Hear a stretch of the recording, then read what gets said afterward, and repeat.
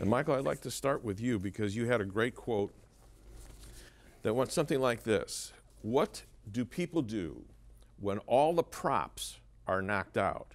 Your husband can't help you, your wife can't help you, your best friend can't help you, the doctors can't help you, the attorneys can't help you, and the church doesn't help you. Where in the world do you turn? You know, John, my pain started in 2000 with some minor things and it progressed. It's called degenerative disc disease. And uh, it's sort of a catch 22 diagnosis for problems in the spine. And uh, the, the time you're referring to when you have a cabinet full of medications, you're taking the max of all these meds, you're dizzy, you're bleary, but you're still in excruciating pain.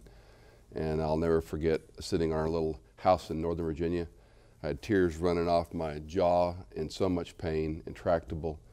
And I looked at Cindy and said, I understand now why people would take their lives. Um, I wanted to jump off a bridge. Now, I never would, but it truly crossed my mind. I got it. And um, when you get to those very dark places where a friend of Joni's and mine says you have three things in a dark tunnel me, God, and pain.